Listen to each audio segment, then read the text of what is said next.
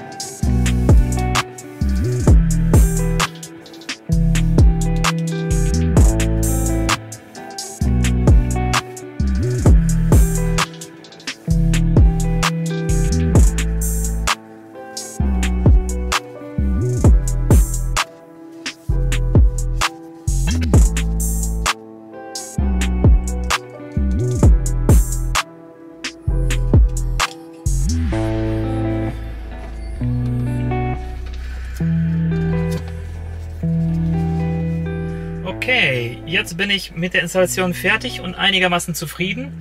Äh, hier seht ihr Vorher-Nachher-Vergleich äh, mit der Spiegelung. Das gefällt mir ehrlich gesagt schon deutlich besser.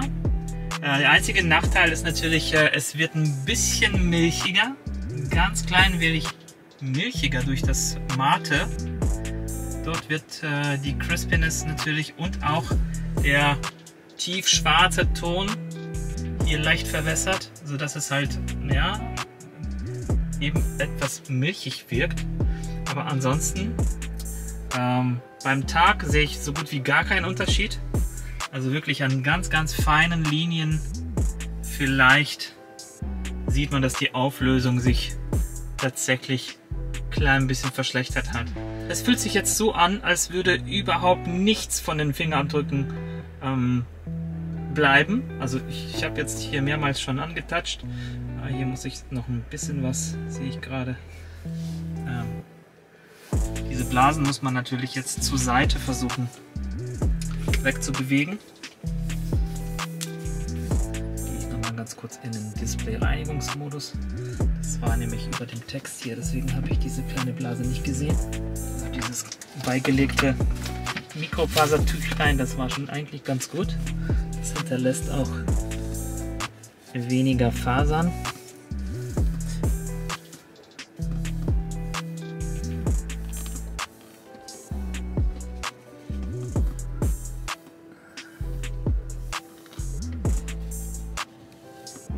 Kriege ich gerade nicht weg.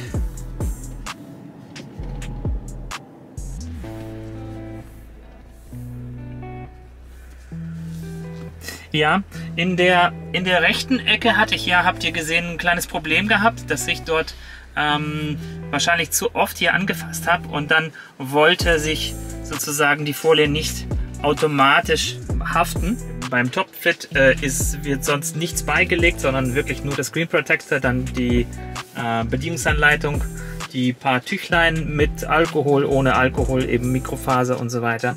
Und ähm, aber ich glaube, das kriegt man schon noch ganz gut so hin. Ja, das probieren wir mal so zu benutzen, aber ich glaube, das äh, sieht zumindest, was jetzt die Fingerabdrücke anbetrifft, das sieht jetzt viel, viel besser aus. Denn ihr kennt das auch hier bei dem 220er Modell ist hier dieses Hochglanz oder Piano-Glanz. Das hinterlässt natürlich auch enorme Fingerabdrücke immer und das muss man putzen und das ist natürlich mit dem Refresh ist es viel besser gelöst. Die Folie verlinke ich euch natürlich unten in der Videobeschreibung, falls ihr auch Interesse habt an sowas. Ich habe das vor allem wegen der Fingerabdrücke gemacht, die mich immer genervt haben. Und jetzt werde ich höchstwahrscheinlich nur noch wegen der Auflösung meckern, die jetzt ganz leicht verloren hat. Aber das werden wir dann noch sehen. Falls euch das Video gefallen hat, hinterlasst ein Like und wir sehen uns hoffentlich bald wieder. Ciao, ciao.